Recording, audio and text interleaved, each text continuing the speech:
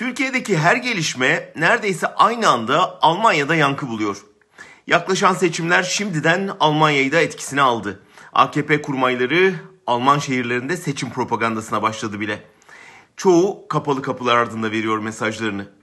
AKP Nevşehir Milletvekili Mustafa Açıkgöz ise bir açık gözlük yapıp Ülkücü Türk Dernekleri Federasyonu'nda yaptığı heyecanlı konuşmayı videoya çektirdi ve kendi Twitter adresinden yayınladı. Neuss kentinde yaptığı konuşmada Almanya'da yaşayan PKK ve FETÖ mensuplarına yaşam hakkı tanımayacaklarını söylüyor.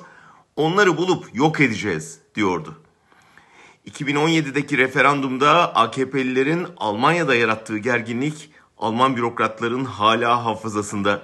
O yüzden açık gözün konuşması Berlin'de alarm zillerinin çalmasına yol açtı. Derhal Türk Büyükelçisi dışişlerine çağrıldı. Almanya'da kışkırtma ve nefret söylemine yer yok diye uyarıldı. Dışişlerinin resmi açıklamasında da Türk temsilciler oyun kurallarına uymadıkları takdirde bunun sonuçlarını değerlendirmek zorundayız denildi. Bu diplomatik tepkiye savcılık soruşturması da eklendi. Açık gözün bir süre Almanya'ya sokulmayacağı, kampanya için gelecek olanların da yakından takip edileceği anlaşılıyor.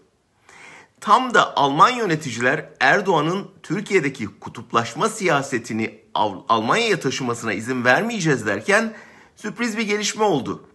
Erdoğan'ın Berlin'e resmi ziyaret yapma talebi kabul edildi.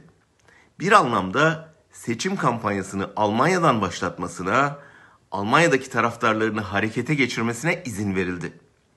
Her ne kadar Alman yetkililer kendisi Türkiye Başbakanı olarak geliyor, isteğini geri çeviremezdik deseler de AKP Genel Başkanı Erdoğan'ın bu ziyareti seçim kampanyasında Almanya'nın seçim vizesi olarak sunacağı, doğabilecek gerginlikleri de kutuplaştırma vesilesi yapacağı kesin.